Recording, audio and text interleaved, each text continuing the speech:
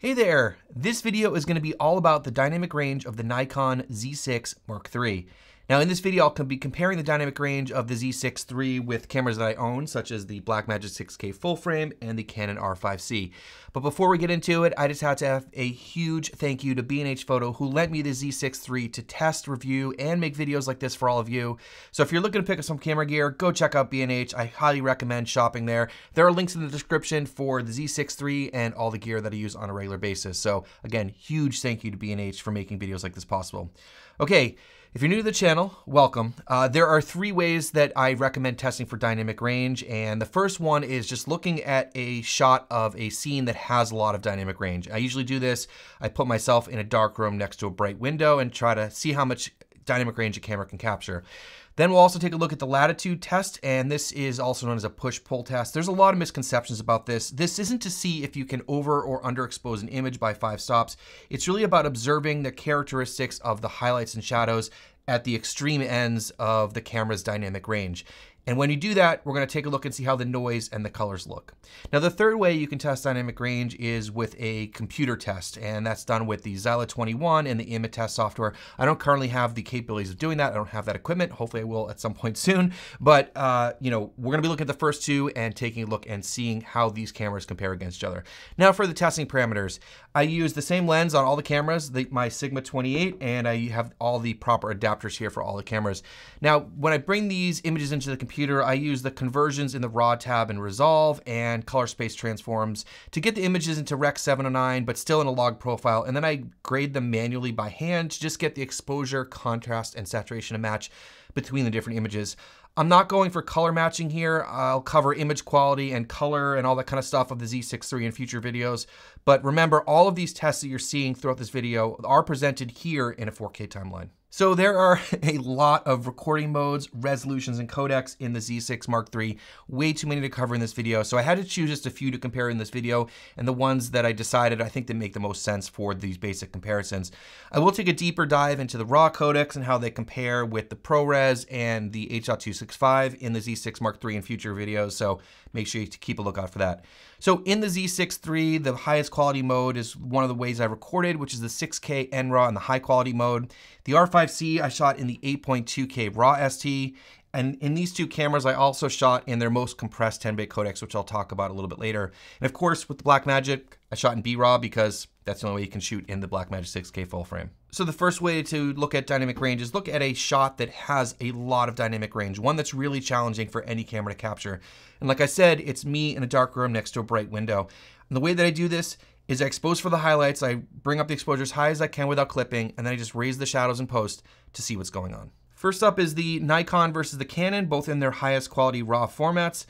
I think the highlights look slightly better on the R5C. If you look out through the window, look at the railing and the deck, they look a little bit better on the R5C. The shadows look cleaner on the R5C with less noise, but you get that horizontal banding that sometimes shows up on the R5C.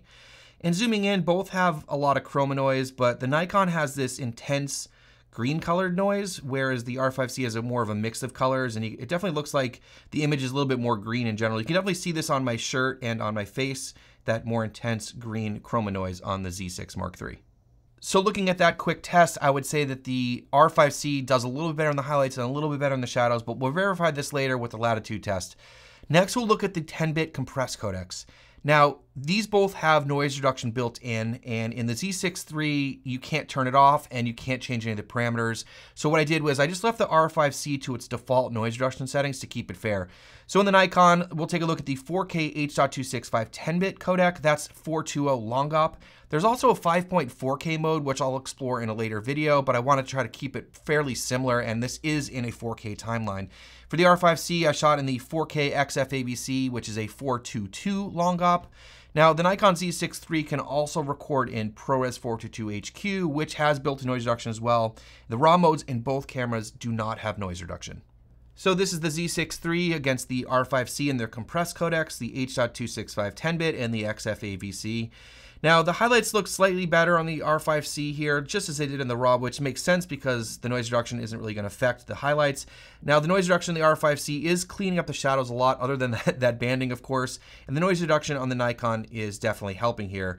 Now, zooming in, there's still a lot of noise in the Z6 Mark III, but the noise gets blockier and smearier, and the R5C seems to be holding color a little bit better in the shadows. So we'll definitely take a look at this more in depth with the latitude test, but you can definitely see the effects of noise reduction going on here with both cameras. Here we'll take a look at the Nikon Z6 III, comparing its NRAW against the H.265 10-bit codec to see if there's any differences here in dynamic range, noise reduction, effects, all that kind of stuff. I think the highlights look very similar and overall not too much of a difference between the two images. My shirt looks like a slightly different color from the chroma noise. Now zooming in, similar to what we saw not zoomed in, very similar image between the two. You can see the effect of the noise reduction here though. I would say that the RAW and the H.265 10-bit have similar dynamic range, but with NRAW, of course, you can control the noise reduction in post and potentially get a cleaner image. Next, we'll take a look at the Nikon Z6 III against the Blackmagic 6K full frame in their highest quality RAW format, so 6K NRAW HQ against BRAW with 3 to 1 compression. Overall here, I think the, the highlights look fairly similar looking outside, but looking into the shadows, it's drastically different, both in terms of noise and color. And zooming in, you can see how much better the Blackmagic 6K full frame looks in the shadows here in terms of noise, color, and sharpness. Because they were similar in the highlights, but there's definitely an advantage here for the shadows for the Blackmagic, I would definitely say that the Blackmagic has more dynamic range than the Nikon Z6 III. Next, we'll move on to the latitude test, also known as the push-pull test. The way I do this is I expose the cameras using a gray card based on the manufacturer's recommendations. So for N-Log, I set the zebras to 95, which is a scale of 0 to 255. I've covered this in several other videos. I got that information from Nikon. I use false color on the R5C and the Blackmagic 6K full frame. I then over or underexpose the image by adjusting the aperture and then adjust the exposure in post. Now, when I was using the raw clips, I used the raw exposure controls. And then when I was using the non-raw clips, I just adjusted them manually. First up is the Z6 III against the R5C in their highest quality RAW formats. This is the overexposure test.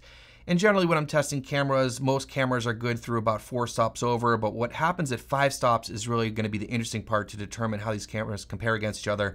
So here are four stops, they both hold really well, but once you hit five stops, you'll see that the R5C definitely holds a little bit better, which definitely confirms what I was seeing through the window outside on the first test.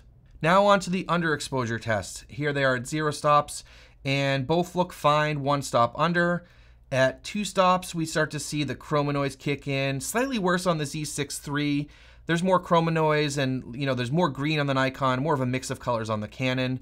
Both are pretty horrible at four and five stops under, so I'd say a slight advantage to the R5C here in the shadows. So overall, the R5C, I would have to say, definitely has slightly more dynamic range than the Z6 III because we see a little bit better in the highlights and just a little bit better in the shadows. All right, so let's take a look here at the overexposure test of the Nikon Z6 III against the Blackmagic 6K full frame. This is in their highest quality RAW format, so the 6K NRAW HQ and the B-RAW with 3 to 1 compression.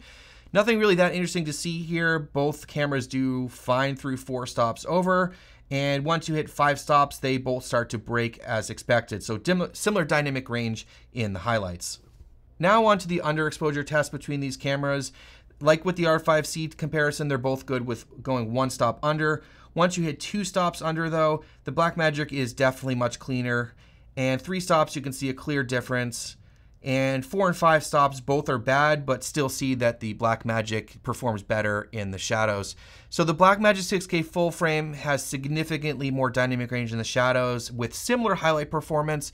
So I have to give an advantage to the Blackmagic 6K full frame over the Z6 III in terms of dynamic range. Lastly, I wanted to look at the Nikon Z6 III in terms of the NRAW versus the H.265.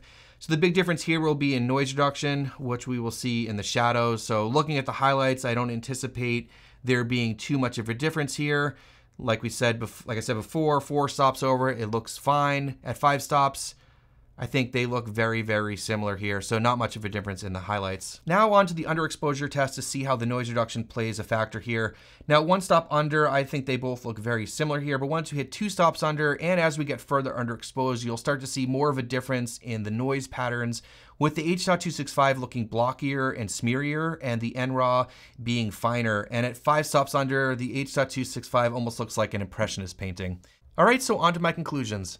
Well, I was personally hoping for more dynamic range in the Z6 Mark III, but it lost out slightly to the R5C and it lost out a little bit more significantly to the Blackmagic 6K full frame in my test here. Now, this does not make the Z6 Mark III a bad camera, But like I usually do on this channel, I like to take technical deep dives into the capabilities of these cameras and compare them and report those things to all of you.